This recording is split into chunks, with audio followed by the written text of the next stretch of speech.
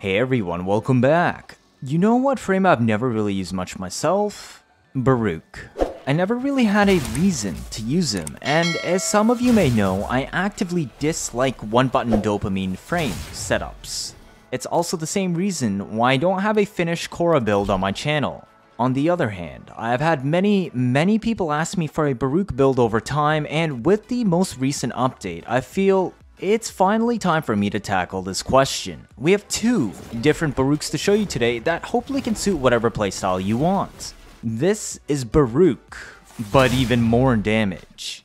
Let's knock the first interaction out of the way. Condition Overload is a staple melee mod, however on Baruuk's Desert Storm, it does not affect the wave, only direct hits. Realistically, the vast majority of your DPS on Baruuk will come from your waves, and not your fists. This means your base damage is essentially capped, with no scaling potential. This isn't really a problem because Baruuk's raw damage is just insane. However, this also means base damage is his most lacking stat if you wanted to push Desert Wind further.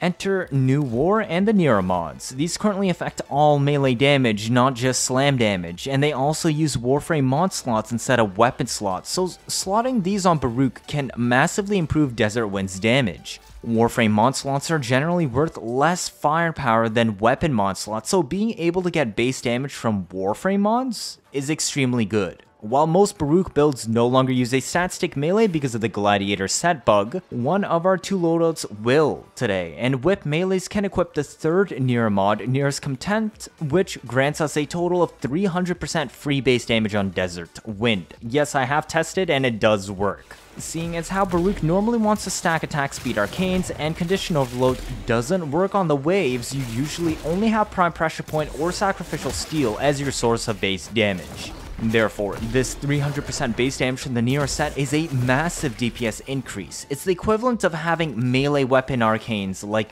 guns currently do. The only other thing to discuss today is the Gladiator set bug on Desert Wind. You can stat stick Gladiator mods on a melee build to build up combo before going into Desert Wind.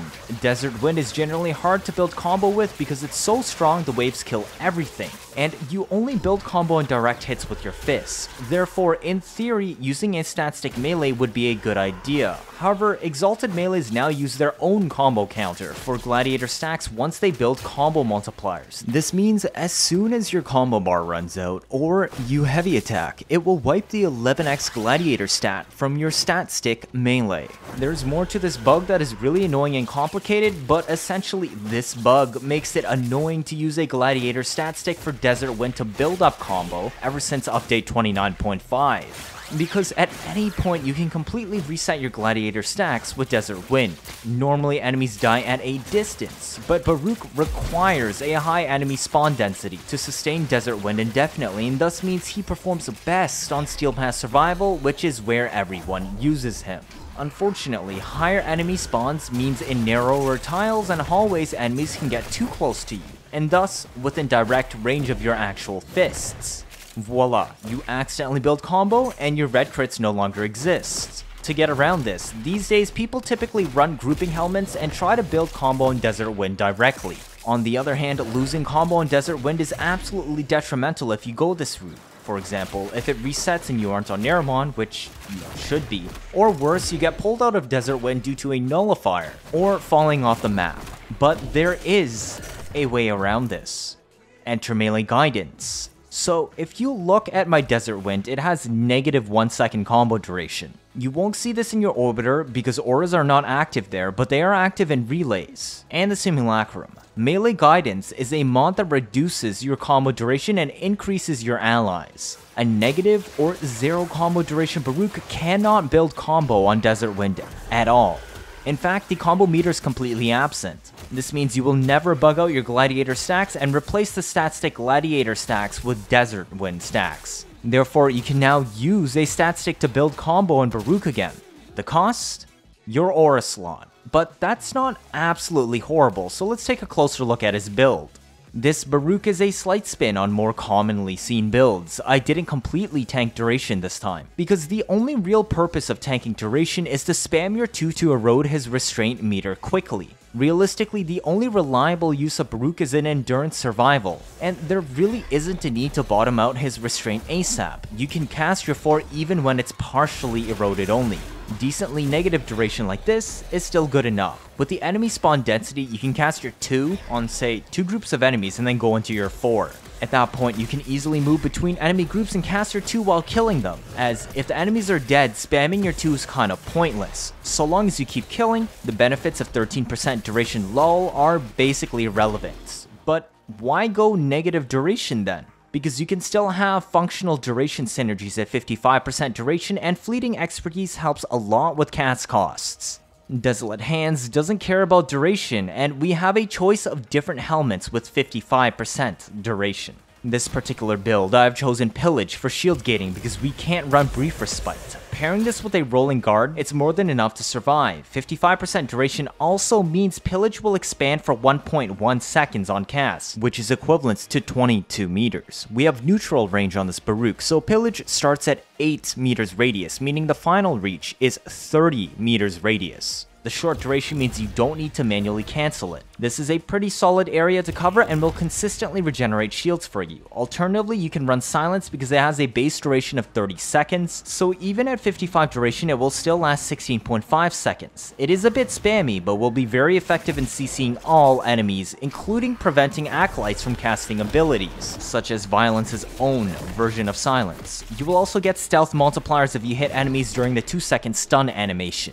Just keep in mind, if you use Silence, you will want to bring a Statstick pistol with two Augur mods on it since you won't have Pillage or Brief Respite for shield gating. Your 3 is just there for slight restraint erosion and that 90% damage reduction. I don't think I need to explain more about it because most of its interactions are irrelevant for standard play. It helps your teammates, and range affects the seek radius of daggers, etc. But if you're in your 4, everything dies, so you won't notice any of its effects besides the damage reduction. Reactive Storm is a mandatory augment because it changes your force damage typing to whatever the enemy is weak against after a moment of hitting them. It also gives a ton of status chance that scales with strength. You reach 100% status at 227 strength and we are well above that. Obviously, we want to build strength to bump up Desert Wind's damage, so Umbral Intensify and Blind Rage. Blind Rage is the reason we slotted Fleeting Expertise as well because the cast cost of its 2 and 3 can get pretty expensive otherwise. Equilibrium is the flex slot, so you can put whatever else you want here, but it will synergize with a Panzer for constant health orb drops from viral quills, granting you pet assists on literally everything. The synth mods will let you spawn tons of health orbs and pick them up even when full HP, and as a stopgap, we even have Arcane Energize. I'm confident this is enough energy and no single cast of his abilities is too expensive, so I didn't slot Primed Flow. Arcane Strike because attack speed on Baruuk is everything, like I said. Nira's Hatred is intentionally ranked 5 because I actually wanted some duration on this build. If you want to run a 13, well, 15% duration build, which I personally do not recommend, you would run a rank 0 Nira's Hatred instead and Transient Fortitude instead of Umbral Intensify. Nira's Anguish main mod effects are near useless on this build and we really only have it for the set bonus. And of course, Prime Sure-Footed because getting knocked sucks. Otherwise replace it for Handspring if you don't have it. This first build I'm showing you is a negative combo duration build, so whatever guns you bring, make sure of this. Bring a rifle so you can slot Amalgam Serration for extra sprint speed. You won't be shooting this gun much, so you might as well make it a useful stat stick. The weapon arcane should be Merciless, or Deadhead if you want. Merciless is probably more useful if you're bringing something that you may want to shoot and needs to reload, but basically we do not want combo duration, so absolutely do not bring primary dexterity. The same holds true for the pistol, however we now have the option to bring a viral primer if you want. I would go the AoE route with Epitaph because the range on your Desert Wind waves is absolutely ridiculous, so something like Nukor is kinda wasted. This is a pure viral epitaph primer build with multi-shot fire rate and bonus status. Once again, don't slot dexterity arcanes. Deadhead and Merciless really have no difference because Epitaph doesn't need to reload. For our stat stick melee today, I've chosen the Verdilac just because. It's an actually functional whip and pretty cool with a nasty gimmick. However, you won't see that today since it isn't built for that. If you want to see what type of mayhem the Verdilac can unleash, click the link at the top right. It's an absolute beast of a melee and the best one of the Archon melees from the new war. It even competes with top tier melees, only being under Glaive Prime. Now why a whip? because of Nira's Contempt, the third mod in the set bonus. This can only be equipped on Whip, so that's what we're doing today. It's also very easy to build combo on Whip, so it works in our favor. We wanted to build for as much combo as possible, but you'll notice I slotted True Punishment here. This is just to build combo easier, but if you really care about the 2.5 seconds, because it only removes 2.5 seconds, you can take it off. There are no other combo duration mods left, so I just wanted some quality of life to build combo even faster. Blood Rush doesn't work on Desert Wind, so we stacked 3 Gladiator mods on Verdilac for the set bonus. Literally, the only purpose of Verdilac here is to spin around and build a 220 combo with as high combo duration as we can fit. This should go without saying, but you should always pick Naramon on Baruuk for Power Spike instead of Zenurik, unless you have a Death Wish. While you can take Zenurik to spam heavies more easily and reset combo duration to full if it is about to expire, Baruuk doesn't really have any energy problems and his native build already favors actually building. For 90% heavy efficiency of the weapon itself, you'll see later if you need it. Power Spike makes all melee combo counters only decay by 5 at a time, meaning you no longer have to worry about losing all combo if enemies aren't around. The Desert Wind build? This is a light attack spam build. We really want attack speed, so we slotted Berserker Fury as well as Quickening. Kills are a joke, so we didn't offer Primed Fury. Combined with Arcane Strike, this makes it feel much smoother.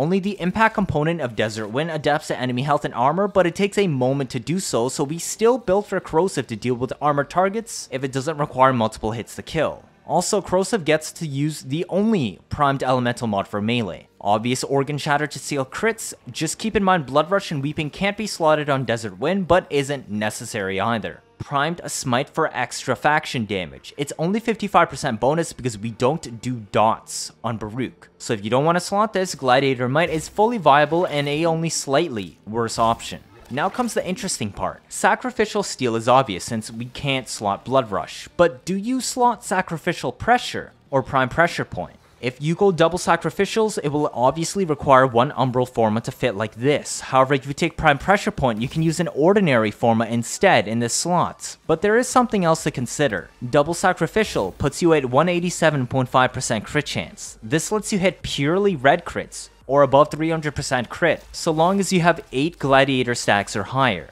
This is 9x combo, or say more than 155 combo when it's decaying from Naramon. With Naramon, it takes 5 minutes and 18 seconds for Verdilac to drop down to 155 combo, and you will start seeing oranges instead of red. This means every 5 minutes, you need to exit Desert Wind and spin a few times with Verdilac to build it back up to 220, and then going back into Desert Wind. Just remember, you don't actually need to and can't even build combo on Desert Wind. So exiting and re-entering it on this build is fine. But what happens if you use primed pressure point?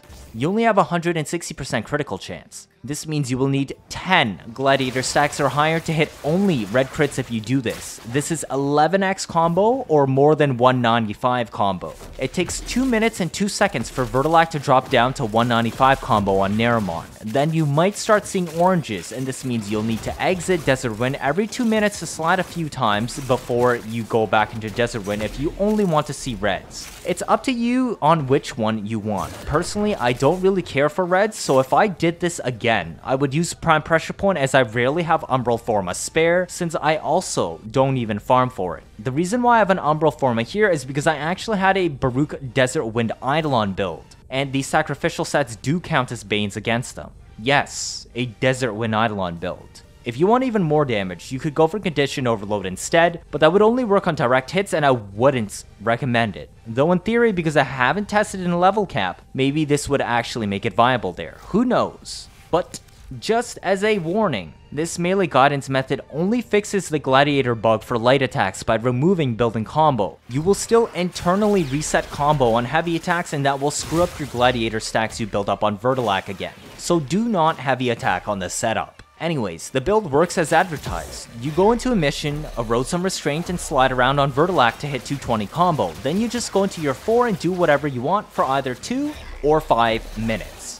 Cast your 2 on new enemy groups to eventually bottom out your restraint. Use whatever Helminth you subsumed on, whether pillage or silence. Maybe spam your AoE viral epitaph if you want those viral stacks. Simple to use and massive damage because of the Nira's set, giving 300% more base damage. Like I said, don't ever use heavy attacks on this build because it will bring the gladiator stack bug back. Now let's look at the other Baruuk build. This one is a little bit more contemporary like the ones you've seen. Now you know what's funny? This second build is identical to your first, however it uses Brief Respite. This is a max DPS Giga Chad build. The Helminth is Eclipse on your 1, but if it is a darker tile, you can use Roar also. Neither skill lasts very long and Roar can be very expensive to cast. Alternatively, you can just run Streamline instead of Fleeting Expertise if you want more existent duration, but that's up to you. The rest of the build is the exact same with identical strength and range benchmarks and the reactive storm augment for adaptive damage. We even still have Equilibrium and Energize to deal with the energy economy, especially if you've replaced fleeting expertise, without having to resort to Prime to flow. What's important is this time, this is while you will still bring a stat stick melee, you will not be building combo on it due to the gladiator bug, as we will have positive combo duration on Desert Wind. This is a more conventional Desert Wind setup that builds combo on the fists themselves because it's meant for maximum DPS potential as well. Make sure your primary weapon has Amalgam Serration for bonus sprint speed and primary dexterity for combo duration since we will be building combo as an option to use heavy attacks on Desert Wind. The Epitaph build again can be whatever you want, with preference to viral because you can't make effective use of condition overload. Make sure the weapon arcane this time is secondary dexterity also.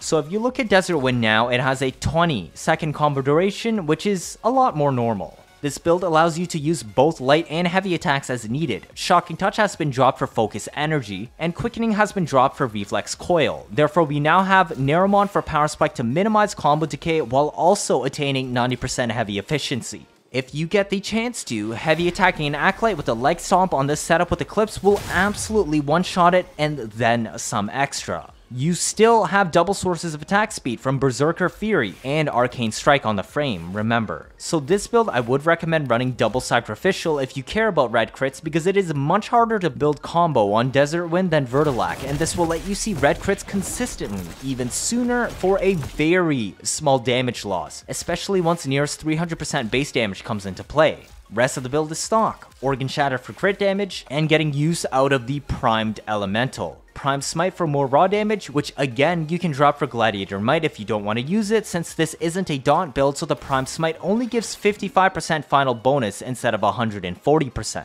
It is still noticeably stronger than Gladiator Might though. And there you go, a more contemporary second Baruuk build setup for those that like to use the heavy attack and just want to see biggest damage numbers possible. If this is your first time watching, feel free to leave like or better yet subscribe, let me know your thoughts down in the comments. 79.5% of you are not subscribed. I'm trying my best to get you new information out always, as soon as possible like I'm done with covering all the new war stuff. Stick around if you want to see interesting memes and builds on a nearly daily basis. You don't want to miss out on any of that, do you? That'll be it for this video, thank you all for watching, and see you all next time.